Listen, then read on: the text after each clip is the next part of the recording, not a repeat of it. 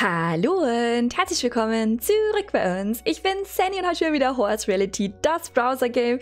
Leute, gestern war Halloween und dadurch habe ich gestern nicht gefilmt. Gott sei Dank, denn heute Morgen, ich glaube vor irgendwie 10 Minuten oder so, kamen die News raus. Für mich persönlich ist heute ein Feiertag. Ähm, ich lebe ja in Bayern und heute ist Allerheiligen.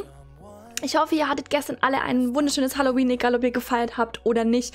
Ähm, ich hatte schon gestern in dem Video erzählt, dass mein Sohn auf einer Halloween-Party war und äh, der hatte sehr, sehr viel Spaß und äh, ja, ich hätte gesagt, wir legen aber los. Natürlich als erstes, nee, nicht mit der Riding School, weil die habe ich vor 18 Minuten anscheinend schon losgedreht. Das habe ich voll vergessen. Das Update ist da von Horse Reality. Das heißt, wir haben jetzt die Fohlenkoppel und das Breeding Cap und ähm, ja, hier sehen wir sie schon. Ähm, ihr seht bei mir, ich habe nur noch drei Plätze, Leute. Drei. Danach ist Du ums Eck bei mir. Oh mein Gott, ich weiß auch gar nicht, warum ich schon wieder 197 Pferde habe. Doch, ich weiß es schon, weil ich glaube, ich habe zwei Pferde gekauft. Die zeige ich euch aber gleich. Als allererstes wollen wir wieder in den Delta Store gehen, denn ihr seht's hier, wir haben einen neuen Hintergrund und der ist einfach richtig spooky. Leider kam der erst heute. Ich hätte mir gewünscht, dass er letzte Woche gekommen wäre, also eine Woche vor Halloween. Das hätte für mich persönlich ein bisschen mehr Sinn gemacht, aber nichtsdestotrotz ist er wunderschön und ähm, ähm, ihr wisst, was jetzt passiert. Ich kaufe mir zwei, beziehungsweise, Leute, ich kaufe mir mehrere, weil es ist limitiert und wir hauen es jetzt einfach ein bisschen raus. Ich habe keine Ahnung, wie viel ich jetzt gerade gekauft habe, aber ihr wisst Bescheid. Fünf von diesen Hintergründen sind für euch. Wir probieren es aber jetzt als allererstes mal aus bei einem Pferd. Ich weiß jetzt gar nicht bei welchem, weil ich komplett überfordert bin. Ähm, das ist mein neues Pferd übrigens, der Tarek. Der kleine Mann ist von Lilly S. Vielen lieben Dank, Lilly, dass du mir ihn reingestellt hast. Ich finde ihn wunderschön. Ich züchte keine Araber. Ich fand ihn aber mega, mega besonders mit seinem Rabicano und ähm, ich sehe gerade, meine Pferde sind nicht versorgt. Ich habe noch ein Pferd gekauft und zwar Captain Rain. Captain Rain ist von von Danciera. Ich hoffe, ich habe dich richtig ausgesprochen, Danciera. Ich habe die kleine Maus gekauft, weil sie siebenmal very good hat. Sie ist wunderschön und ich hätte gesagt, sie heißt Captain Rain. Ich bin mir nicht ganz sicher, warum sie Captain heißt, aber äh, ich habe den Namen jetzt erstmal gelassen und ich hätte gesagt, wir nehmen sie einfach jetzt mal und ähm, geben ihr den neuen Hintergrund. Was sagt ihr dazu? Oh mein Gott, wie viele habe ich denn gekauft? Oh Gott. Aber fünf sind für euch. Ähm, fünf sind für euch und ich erkläre euch gleich, was ihr machen müsst. Ähm, jetzt, wow. Ah, der ist wunderschön, der Hintergrund. Oh mein Gott, ich versuche auch, dass ich das auch ähm, nächste Woche schon auslose. Also das heißt, ihr habt jetzt ich hätte gesagt, sechs Tage Zeit. Normalerweise filme ich immer am Donnerstag irgendwann ähm, die Horse Reality Folge. Und ähm, wenn ihr den Hintergrund gewinnen wollt, dann braucht ihr unbedingt Platz. Ihr braucht, also wenn ihr zum Beispiel 50 Plätze habt, braucht ihr mindestens einen Platz, um das, um das Tier, Tierchen zu kaufen, das ich euch reinstelle. Und ähm, ihr müsst einfach nur in den Kommentar schreiben, mit eurem Horse Reality Namen und warum ausgerechnet ihr dass ähm, da, da, das, Hintergrund ist auch sehr interessant, den Hintergrund ähm, gewinnen solltet. Und wie gesagt, ich los dann wieder fünf Leute aus, falls es Mitglieder gibt, die gerade dieses Video gucken, am, die am Kanal Mitglied sind, also zahlendes Mitglied, dann ähm, bekommt ihr auf jeden Fall einen Hintergrund, wenn ihr mir in die Kommentare schreibt. Ähm, die werden aber nicht von den fünf abgezogen. Ja, das heißt, wenn ihr zahlendes Mitglied am Kanal seid und einen Hintergrund wollt, dann kommentiert einfach dieses Video und äh, dann bekommt ihr auf jeden Fall einen Hintergrund. Ist einfach, Leute, falls ihr, äh, es kommt, gibt bestimmt wieder jemand, der in die Kommentare schreibt, das ist unfair, Leute.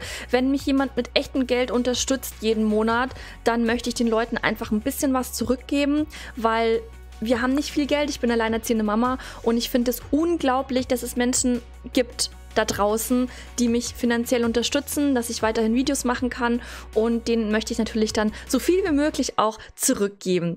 Ich muss sagen, der Hintergrund, der ist der Oberknaller, Leute. Genauso wie diese kleine süße Stute, Leute. Guckt euch sie an. Sie hat siebenmal Very Good und ähm, wir trainieren sie jetzt einfach mal, weil ich denke, dass sie alles rocken wird und sie ist einfach ein absolutes Träumchen. Ähm, ihre Mama ist November Rain, was ein mega cooler Name ist.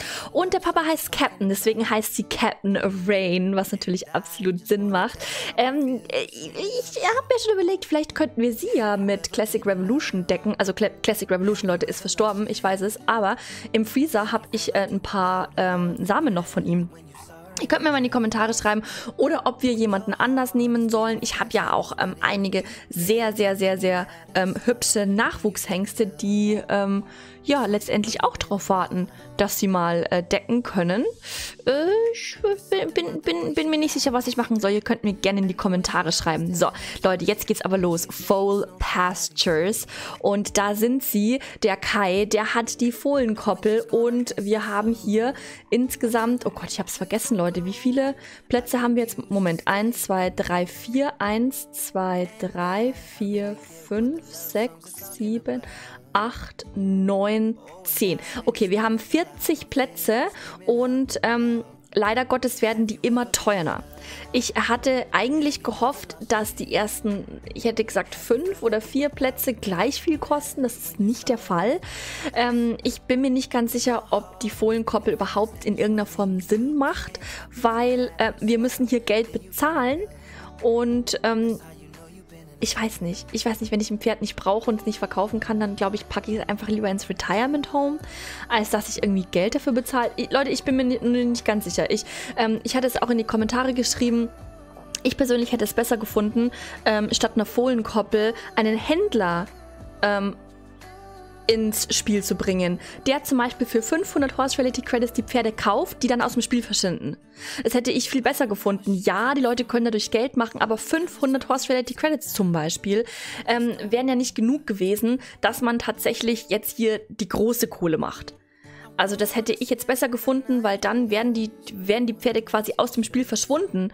Und ähm, so hätte man die, die Economy einfach auch ein bisschen, also äh, ein bisschen ja, wieder stabilisieren können. Das, was, was, was eine Fohlenkoppel unbedingt bringen soll, ich bin mir nicht sicher. Vor allen Dingen Platz 40, Leute, kostet 10.000 Horse Reality Credits.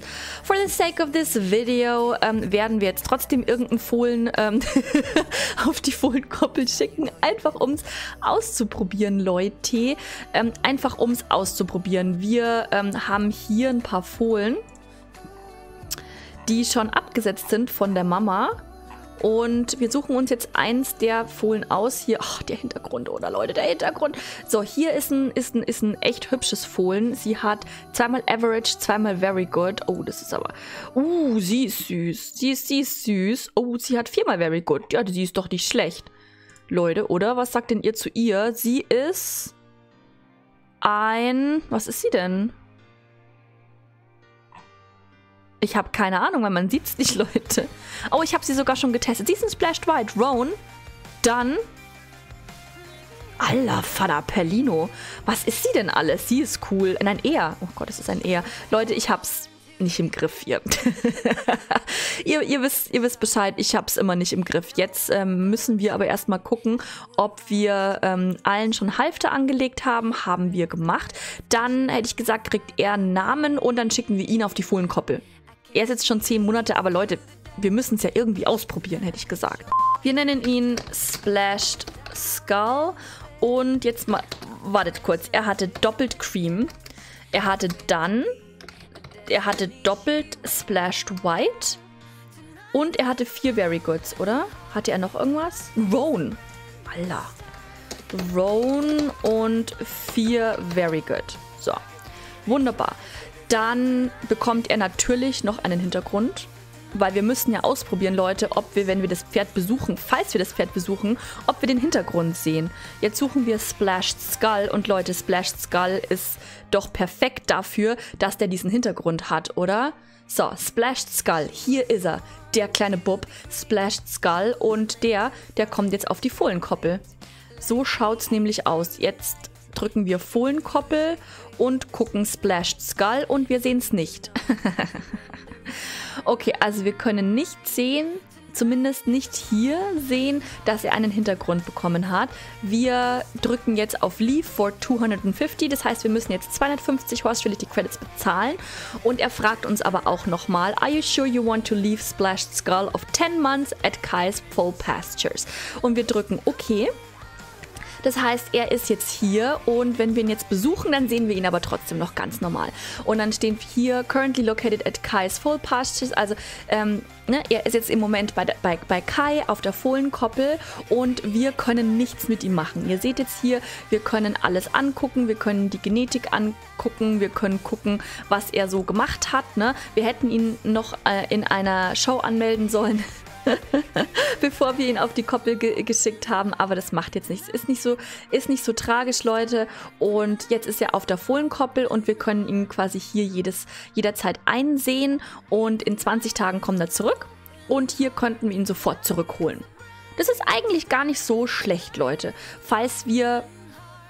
Ja, theoretisch ist es, glaube ich, am allerbesten. Ich meine, wenn wir dann Fohlen hinschicken, dass wir auf jeden Fall behalten, wo es egal ist, ob es jetzt die nächsten eineinhalb bzw. zweieinhalb Jahre da ist, je nachdem eben, wann wir das, ähm, wann wir das Fohlen da hinschicken. Und wir können ihn, wie gesagt, jedes, jederzeit besuchen und wir sehen eben auch, ähm, dass er ähm, den Hintergrund hat. Ich denke auch andere Leute ähm, sollten das eben auch sehen. Also Leute, falls ihr nur ein paar Pferde drüber seid, ein paar Fohlen habt und züchten wollt, dann schmeißt einfach ein paar ähm, Fohlen in die Fohlenkoppel. Aber vergesst nicht, Leute, mit drei Jahren kommen sie zu euch zurück. Was wir aber immer machen können, ist, wir können das, das Fohlen jederzeit verkaufen, während es auf der Fohlenkoppel steht. Als letztes besuchen wir natürlich noch einen von euch und das ist dieses Mal Natascha. Leute, ich habe nicht vergessen, dass ich noch eine Besuch Besuchsfolge machen möchte. Sobald aber irgendwelche News kommen für die Woche, dann müssen die natürlich ausfallen. Das heißt, das nächste Mal, wenn wir keine News haben und nichts zu tun haben, dann werde ich auf jeden Fall die Besuchsfolge machen und darauf freue ich mich auch schon richtig, richtig toll. Heute besuchen wir aber die Natascha und ähm, sie hat Maple Equestrian Center, was super süß klingt, Leute. Maple ist auch ein super schöner Name für ein Pferd. Das müsste ich mir eigentlich fast aufschreiben. Und sie hat Welsh Ponys und und Quarter Horses. Und äh, sie hat viele Quarter und unglaublich viele Welsh Ponys und ein paar Trakehner. Ihr wisst Bescheid. Ich suche jetzt ein paar Pferde raus und dann sehen wir uns gleich wieder.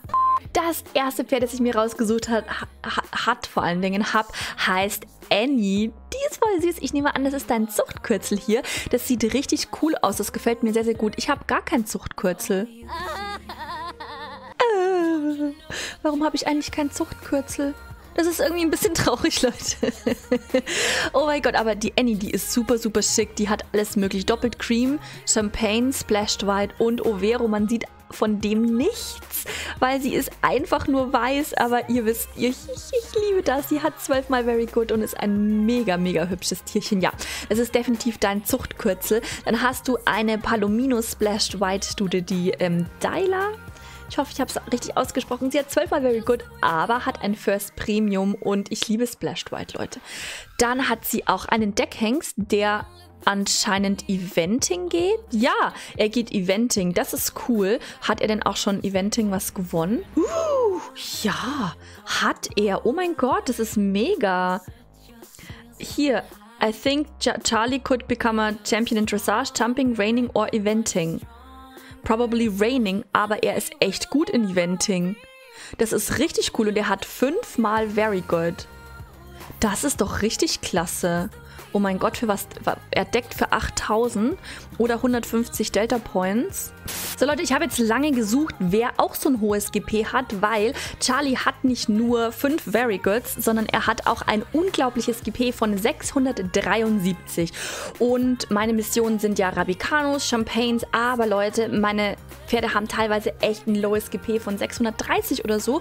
Das heißt, ich habe jetzt beschlossen, ich guck mal, vielleicht bekommen die beiden einfach auch ein, ein höheres GP von irgendwie 680 oder so. Das wäre doch mega cool, Leute. Wir decken mit 150 Delta Points und machen Breed. Und die letzte Studie, die ich mir rausgesucht habe, ist Ladina. Ladina ist wunderschön. Sie hat einen GP von 600, zweimal very good. Aber das Besondere an ihr ist, sie ist Splashed White Roan, was ich richtig, richtig toll finde, oder? Sie hat ein Star-Prädikat und zweimal very good und ähm, sie ist mega, mega knuffig. Ähm, Natascha, du hast wunder, wunderschöne Pferde. Vielen Dank, dass ich ähm, mit deinem Hengst decken durfte, mit Charlie. Ich hoffe, da kommt ein ganz, ganz tolles Fohlen raus. Und dann hätte ich gesagt, war's es mit diesem Video von Horse Reality. Falls euch das Video gefallen hat, würden wir uns natürlich über ein kostenloses Abo von euch freuen, über einen Like oder einen Kommentar. Und dann hoffe ich, dass wir uns im nächsten Video wiedersehen. Danke fürs Zuschauen. Servus!